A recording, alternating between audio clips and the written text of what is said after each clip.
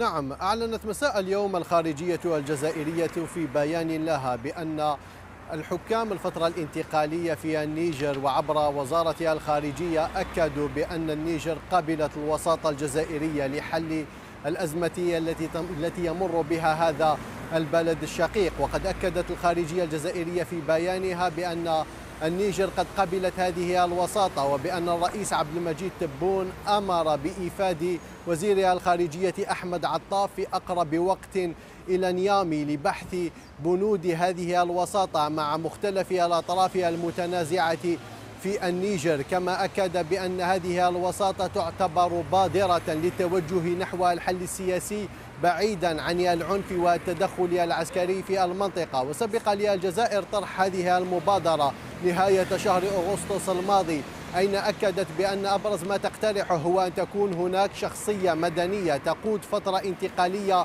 لمدة ستة أشهر. هذه الشخصية يجب أن تكون توافقية وتضمن العودة إلى المسار الدستوري وإنهاء الانقلاب العسكري الحاصل في البلاد. كما سبق تلك المبادرة زيارة وزير الخارجية الجزائري إلى كل من نيجيريا وغانا والبنين. هذه دول إكواس التي التي هددت من قبل باستعمال القوة والتدخل ضد المجلس العسكري في النيجر لإنهاء الانقلاب العسكري الجزائر خلال تلك الزيارة أكدت بأن التدخل العسكري مرفوض وله مآلات خطيرة على المنطقة وبأنه يهدد دول الجوار وسيزيد من حجم الاحتقان الداخلي في النيجر. بعد تلك الضمانات التي تلقتها الجزائر من قبل دول الإكواس كما قامت أيضا بإيفاد الأمين العام لوزارة الخارجية إلى النيجر أين التقى قيادات من المجلس العسكري وأيضا قيادات قبلية وازنة داخل النيجر؟ تم طرح هذه المبادرة ويبدو أنه حدث هناك توافق داخلي في النيجر من أجل قبول هذه المبادرة. وللجزائر خبرة في معالجة أزمات الانقلابات العسكرية في النيجر حيث أنه للأسف يعتبر هذا خامس انقلاب عسكري في النيجر. وفي العديد من المرات لعبت الجزائر دور الوساطة. بحكم الجوار وأيضا بحكم علاقاتها القوية في الداخل النيجيري سواء مع القبائل التي لها نفوذ هنا في الجزائر وفي النيجر أيضا أو حتى مع شخصيات وازنة. طيب. والتلقى احتراما وقبولا لدى المواطنين والمجتمع النيجيري ككل.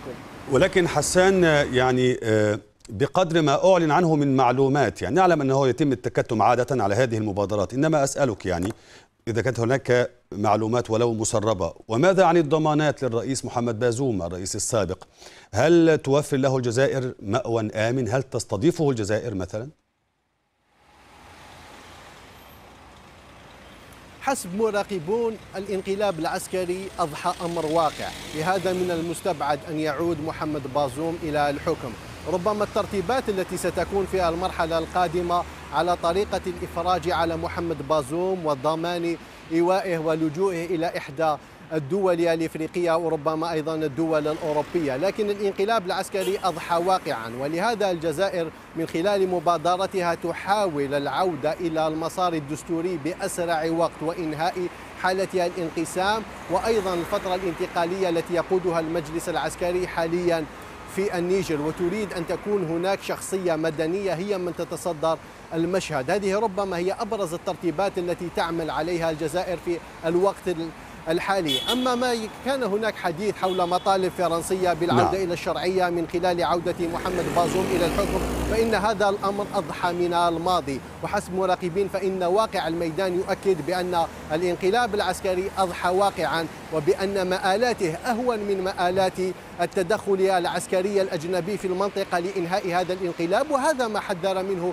الرئيس عبد المجيد تبون. لهذا فإن المرحلة القادمة ستكون مسايرة التطورات وإيجاد حلول عملية تضمن استقرار المنطقة وأيضا العودة بسرعة إلى مسار دستوري وتكون هناك شرعية دولية حول القيادة التي ستفرزها الانتخابات في النيجر.